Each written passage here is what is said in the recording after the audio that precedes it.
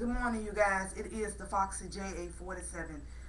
I'm I'm coming at you this morning. Gotta get out of here. Uh, just pull back in the ponytail. I hate to tell you guys. I hate to break the news to you, but not a good morning. Not a good morning.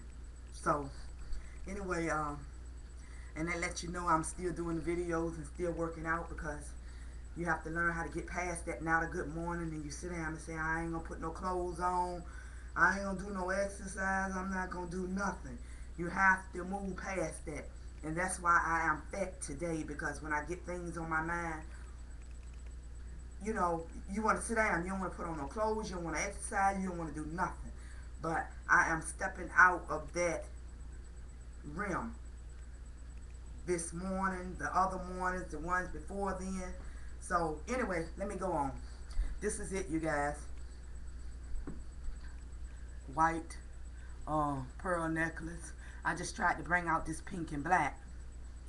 Pink earrings, um, black sweater. It's kind of really cool, cool here, not cold, but little black jacket.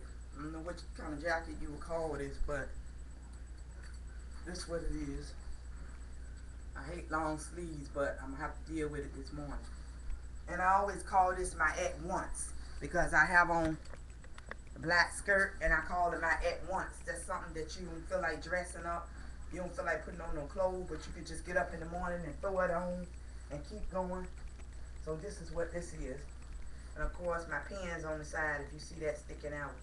My pins here. So this is my at once skirt when I don't feel like putting on any clothes.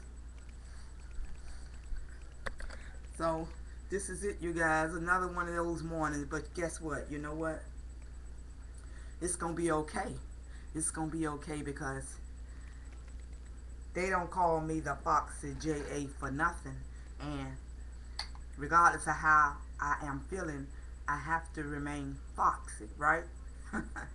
okay, I'll talk to you guys later. Uh, hope you all have a wonderful day and keep pushing and keep on encouraging me.